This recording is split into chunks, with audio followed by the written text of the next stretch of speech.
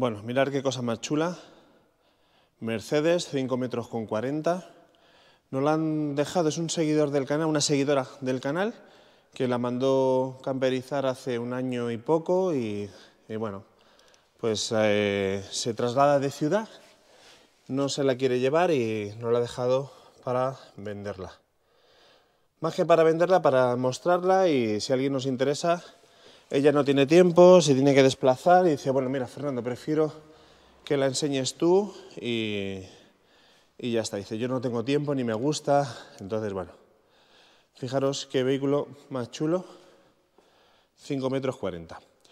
Vale, aquí tenemos esta autocaravana, que nos la han traído por un problema eléctrico.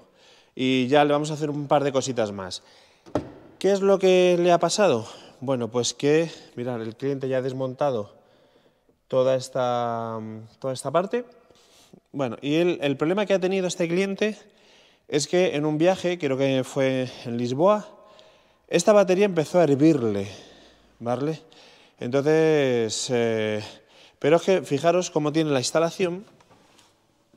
Mirad, aquí detrás tiene otra batería, aquí tiene el inversor pero fijar, la mala decisión de la persona que montó esta batería aquí es que la centralita está aquí detrás y todos los fusibles están ahí detrás.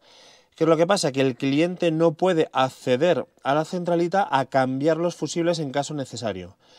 Con lo cual, ¿qué vamos a hacer? Pues sanear todo esto, vamos a dejárselo de forma chula, le vamos a quitar eso, que por cierto, fijaros, tiene también este cajón aquí que se lo han hecho a medida para tapar el hueco este de la batería, no sé. Digamos que es un poquito... Es un poquito...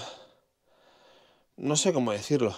No cutre, pero, pero no hace bonito el tener esa batería ahí debajo, esta batería aquí debajo, no poder acceder a la centralita, que es lo que más grave me parece, y tener que disimular esta tapa amarilla y, este, y esta batería con este cajón. Bueno, pues se lo vamos a sanear todo. Bueno, mirad, eh, como os decía, el cliente tiene la centralita ahí detrás, no puede acceder a ella de ninguna forma porque tiene esa batería que se lo impide. Esta es la batería que empezó a hervir, se le calentó, de hecho, mirad, es de la misma época que esta y mirad cómo se ha calentado todo, ha empezado a despegarse las pegatinas por calor, y desprende un olor a huevo podrido impresionante. Entonces nada, vamos a quitar el asiento, ya lo tenemos desconectado y vamos a, a empezar a montar.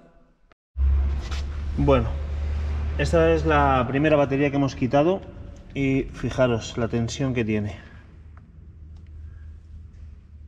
2 voltios, nada más que le funcionará un vaso. Está está estropeada. No sé si es que se ha comunicado o qué, pero vamos, esto es irrecuperable. A partir de 6 voltios más o menos no hay quien recupere una batería. Bueno, una serie de cosas que me llama la atención es, fijaros, un borne normal de batería. Aquí este le hemos quitado, que bueno, lo quitó el cliente, este borne normal de batería viene aquí.